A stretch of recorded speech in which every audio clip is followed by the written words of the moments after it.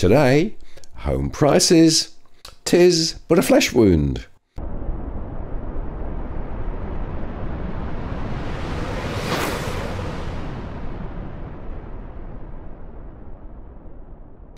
Hello again, it's Martin North from Digital Finance Analytics, one that is post covering finance and property news. And yes, I've still got my cold. Well, it's an interesting time with regard to property markets at the moment, and there are a number of factors potentially beginning to move the dial. The prospect of another interest rate rise on Melbourne Cup Day has shaken buyers' confidence, sending auction clearance rates to their lowest level in seven months according to CoreLogic. Prelim results showed 68.5% of the reported auctions across the combined capital cities were successful, which is 2.3 percentage points lower than the previous weekend, weaker than the average for this time of the year. I have to tell you that I have this vision of the Black Knight, and tis but a flesh wound coming to my mind at the moment, because there are many factors, of course, driving the market potentially sideways or even down now. When it comes to the number of homes taken to auction, they soared to 3,383, which is the largest volume since the week before Easter last year. Tim Lawless, CoreLogic Research Director, said such a large number of auctions was always going to test the depth of buyers' demand. Basically, it has not passed the test as shown by the lower clearance rates, which lines up with renewed speculation that interest rates are about to go higher once again, he said. And, as reported in the AFR, a build-up in home listings and worsening affordability slashed the rate of house price growth by a third to 1.9% across the combined capital cities during the September quarter, according to Domain. Nicola Powell, Domain's Chief of Research and Economics, said the pace of price increases would moderate further amid rising supply.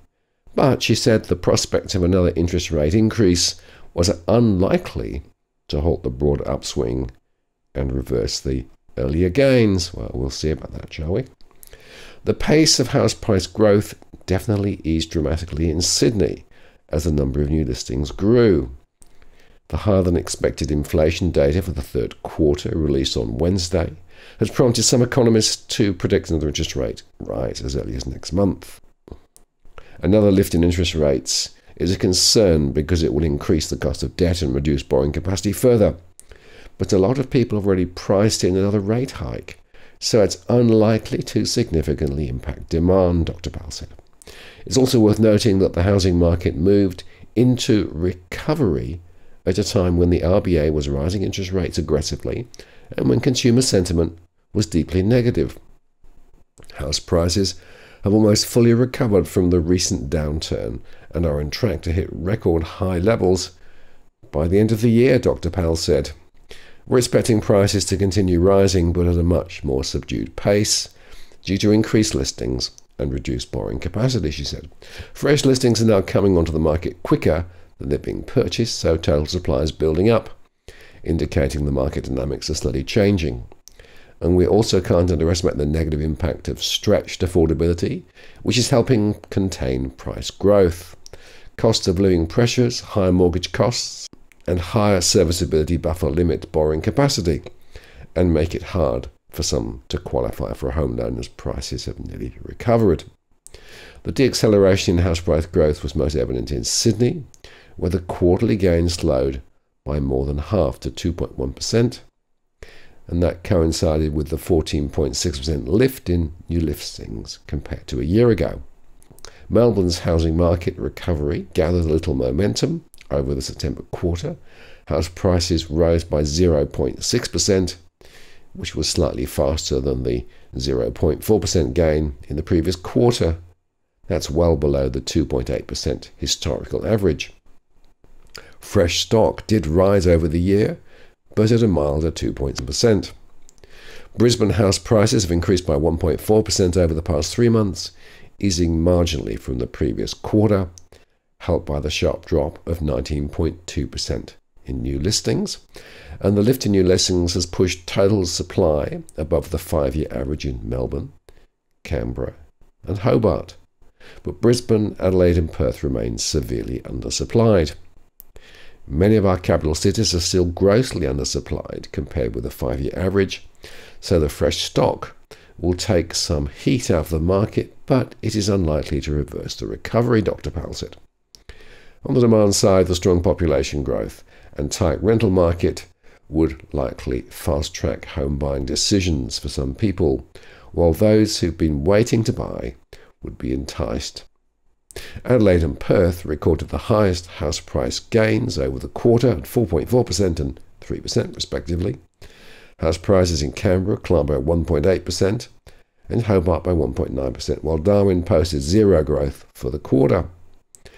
In the unit market, all capital cities posted quarterly gains in prices except Canberra and Hobart, where values declined. And meanwhile, Adelaide, Perth, and Melbourne notched the largest quarterly gains of 4%, 3.3%, and 3.2%, respectively. But if you take a slightly longer term view, the average annual price growth in Sydney was 8.1% for houses, 0.4% in Melbourne, 3.3% in Brisbane, 8.4% in Adelaide. They've fallen by 2.9% in Canberra. They've risen by 10.4% in Perth. They've fallen by 3.2% in Hobart. They've fallen by 8.1% in Darwin. And the combined capitals was up 5.1%, according to Domain. The units story over the last year showed that units in Sydney on average were up 2.1% according to Domain, up 1.4% over the last 12 months in Melbourne, up 7.8% in Brisbane, up 15.1% in Adelaide, down 5.3% in Canberra, up 4.2% in Perth, down 15.5% in Hobart, up 3.2% in Darwin, and the combined capitals was 2.7%. So it's worth noting immediately that, of course, the price action is quite different between units and houses and across different states. This is something which gets lost often in the reporting. And with the variations in supply and demand, and with the absolute price of houses, there's no surprise that we see variations around the place.